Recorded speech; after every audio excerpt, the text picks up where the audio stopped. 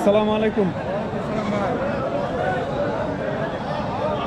আপনার তো ছাগল তো অনেক বিশাল বড় ছাগল।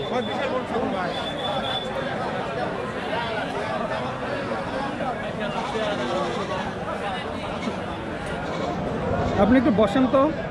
একটু বসেন। নিচে বসেন। তাহলে বোঝা যাবে যে এটা কত বড় আচ্ছা আচ্ছা আচ্ছা আচ্ছা দে এবার দেখে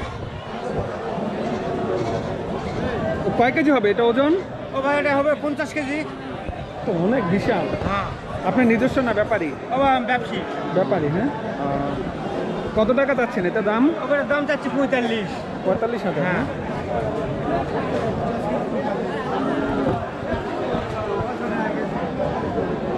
এ পর্যন্ত দাম বলছে কেউ? হ্যাঁ পঁচিশ তিরিশ বলতেছে।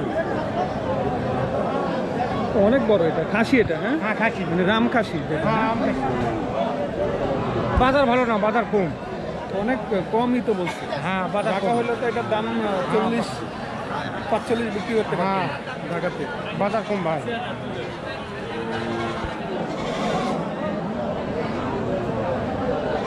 এরকম সবসময় বিক্রি করেন না আজকে নিয়ে আসছেন? আজকে নিয়ে আসছি। আর কখনো এরকম আনেন আনি আজকে বড় খাসি নিয়ে আসছি। আমি ব্যবসী কোন জায়গা থেকে কিনে আনছেন এটা? এটা কিনা গ্রামে। মানে কোন হাট থেকে? না গ্রামে কিনছি। ও গ্রামে কিনে হ্যাঁ। আনছেন হ্যাঁ?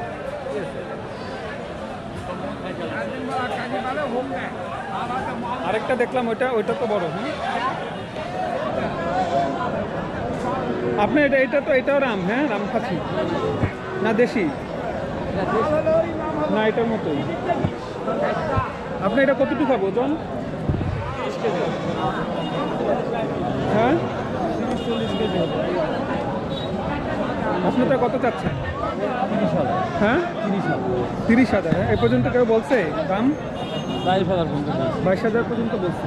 বিশাল ছাগল।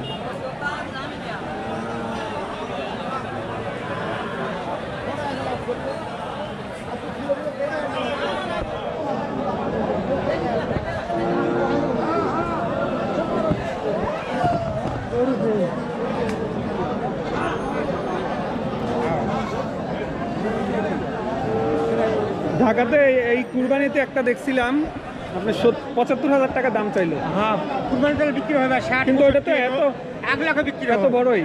হ্যাঁ এক লাখ পঁচাত্তর হাজার টাকা দাম চাইলো। এটা মনে হয় পরে ষাট হাজারের মতো মনে হয় বিক্রি হয়েছে।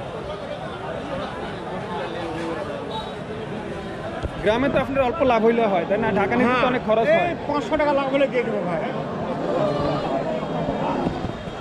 আপনারা কত হলে বিক্রি করবেন এটা? ও ভাই পঁয়ত্রিশের নিচে বেচবো না।